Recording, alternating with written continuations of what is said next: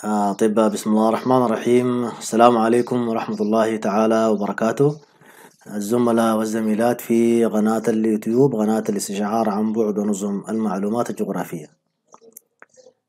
يمكن محاضرتنا اليوم مواصلة في ال hydrology analysis cycle أو ال watershed. هنتكلم اليوم عن الخطوة الثالثة في التحليل المائي اللي هي ال flow accumulation.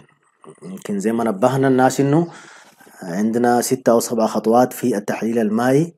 يمكن المحاضرتين ال- ال- السابقات بيمثلوا الخطوة الأولى والثانية ودي الخطوة الثالثة اللي هي ال flow accumulation.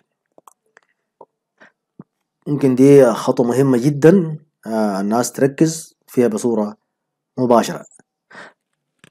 ننبه برضو الزملاء والزميلات إنه الناس اللي ما مشتركين في القناة برضو يشتركوا في القناة عشان يصل كل جديد إن شاء الله عبر القناة عبر الروابط الموجودة في الشاشة.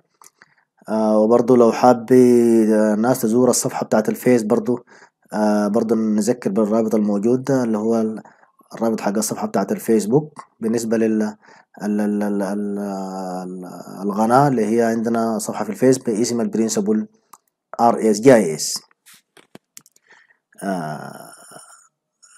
نخش طوالي في في الخطوة الثالثة ال flow accumulation هي من الخطوات المهمة جدا زي ما نبهنا.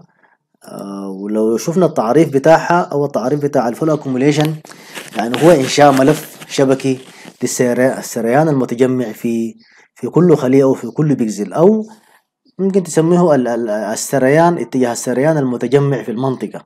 من كل ال pixels الموجودة في المنطقة تعريف عام جدا بالنسبة لل flow accumulation يمكن برضو لو لاحظنا for example يعني لتوصيل الفهم للناس يمكن دي عندي مجموعة من الخلايا. في خلايا بتحمل رقم زيرو زيرو زيرو في خلايا بتح- بتحمل رقم تلاتة اتنين اتنين حداشر زيرو المهم دي مجموعة من الخلايا فليكن دي دي, دي المنطقة بتاعتي. بالتالي أنا كيف أقدر أحدد إنه كل الخلايا الموجودة دي أحدد اتجاه السريان بتاعها ب- في اتجاه واحد أو كلها تكون آه، أنا أقدر يعني أتحصل على المجرى الرئيسي للمنطقة كلها اللي هو بيسموه ال flow accumulation يمكن آه، آه، برضو كمثال يمكن أنا أنا عملت رسمة هنا آه، حاجة manual عملتها باليد عشان نقدر نوصل بها الفهم بتاع الناس بال- بالتحديد في الخطوة بتاعت ال flow accumulation دي عندي خلية قدامي. آه، الخلية دي فيها مجموعة من القيم. آه، فبالتالي أي أي قيمة بتحمل لي قيمة بتاعت value أو بتاعت elevation في البكسل الموجودة.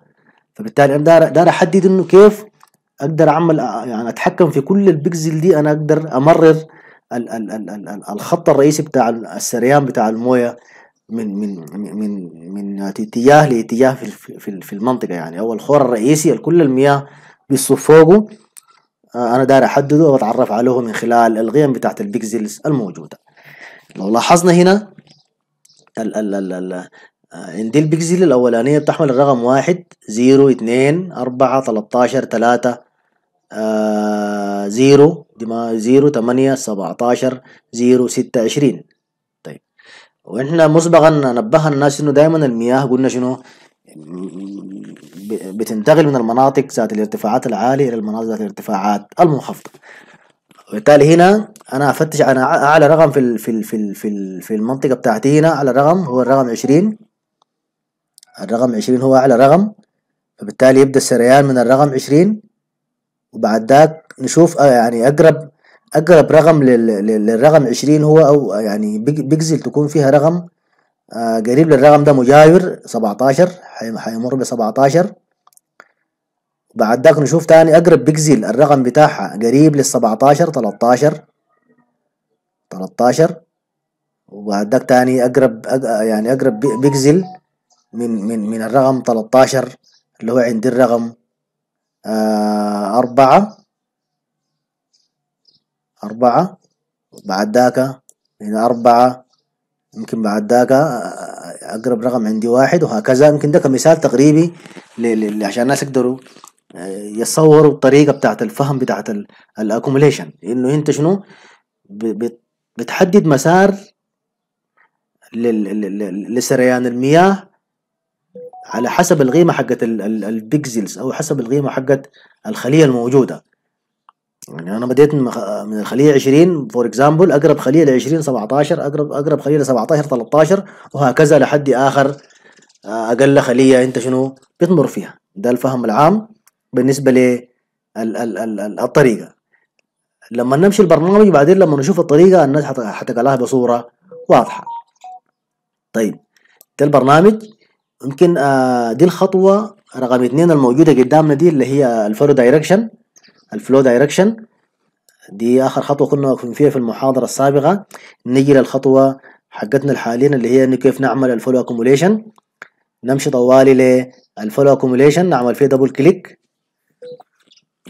وهنا قال لي input flow direction raster قال لي ادخل ال flow direction نيجي نعمل input نعمل إدخال لل flow direction وطوالي هنا. آه قال لي ال output أنا زي ما وريت الناس إنه دايما ال output أنا قاعد أحفظ دايما في بحفظ بحفظ في, في ال default. بعد ذاك عندي الخيارات دي كلها optional ما في داعي أنا آه، أغير فيها أي حاجة. طوالي نعمل OK. وننتظر آه طوالي العملية انتهى سريع جدا بصورة سريعة.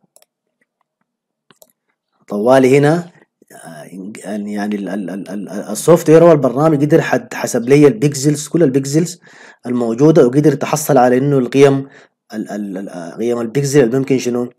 السريان المياه يجي عبرها وممكن ده ال flow accumulation أو تجمع المياه كلها شنو في المنطقة دي في المنطقة الموجودة دي.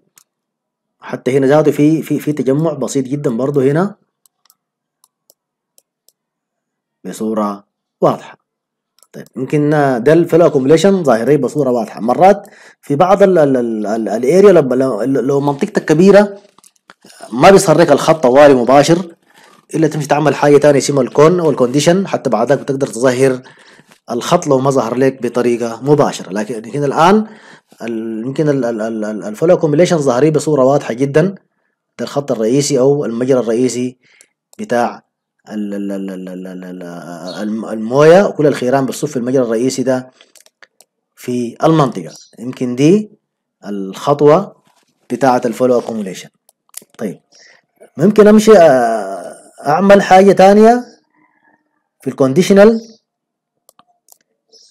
في ال conditional هنا في ال ال ال con عشان أقدر أقدر أوضح إنه آه، أظهر مجموعة من الخيران ال secondary. هي يمكن تمثل لي برضو accumulation رئيسية في المنطقة. هي الآن ما ظهرت لي. الآن ظهر لي وادي واحد في المنطقة. أنا عاوز أظهر آه، مجموعة من الخيران بالتالي هي مهمة في المنطقة وما ظاهرة لي الآن. أنا أحاول أظهرها بال condition نمشي نعمل con ولما نعمل con قال لي input conditional raster قال لي أدخل أدخل آخر خطوة أنت عملتها اللي هي ال flow accumulation الموجودة قدامي. أنا أدخلتها. والاكسبريشن آه، ده يمكن اللي هي بتتحكم فيه انت يعني. انت عاوز الخيران كبيرة ولا عاوز عاوزها كثيره ولا بسيطة؟ الخيران الفرعية الموجودة في المنطقة عايزها بصورة كبيرة ولا بصورة آه بسيطة؟ يعني أنا نقول ممكن نقول يعني ما يعني تخط حسب الرقم اللي أنت عاوزه. حسب الرقم اللي أنت عاوزه. يعني مثلا يعني أنا مثلا دار القيمة القيمة مثلا مية. أكبر من مية أو أكبر من ميتين أو نقول أكبر من تلتمية. هنا. بعدك أنت يمكن تعمل يعني محاولة أو محاولتين أو ثلاثة محاولات بعدك تكتفي بالخيران اللي أنت عاوزها في المنطقة. أو تج...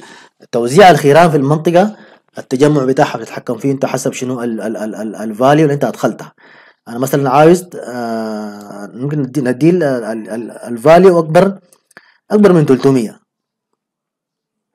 ونخلي ال input true raster نخليها واحد.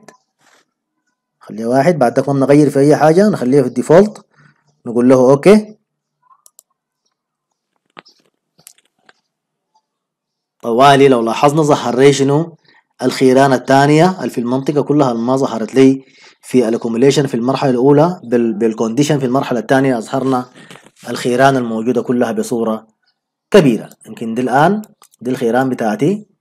الموجودة ظهرت لي ك raster آه features يمكن لحد هنا آه دي الخطوة رقم ثلاثة في ال flow accumulation حتى لو لو حاولنا قارنا بين ال بين الخلية اللي عملناها في البداية بتاعت ال flow accumulation وبين ال بين ال condition اللي عملناها في في المرة الثانية بنجد ان الأولى ما فيها تفاصيل بتاعت خيران زي ما نبهنا. ما فيها تفاصيل بتاعت خيران كثيره لكن لما عملنا ال condition في تفاصيل بتاعت خيران كثيره جدا وبالتالي التفاصيل دي بعدين لما تيجي آه تعمل عملية لقدام بتاعت ال stream order الشغل بتاع ال watershed والشغل بتاع ال basins بعدين بتقدر توزع ال basin بتاعتك بصورة مريحة جدا في المنطقة وبصورة آه دقيقة جدا. انت كل ما كل ما زدت عدد الخيران كل ما كان الشغل بتاعك هو أدق لكن في نفس اللحظة بياخذ منك معالجة كثيره في البرنامج أو في ال software بتاعك وبالتالي بتاخذ لزمن في المعالجة ولزمن كبير جدا في ال processing بتاع البرنامج. يمكن لحد هنا محاضرتنا انتهت.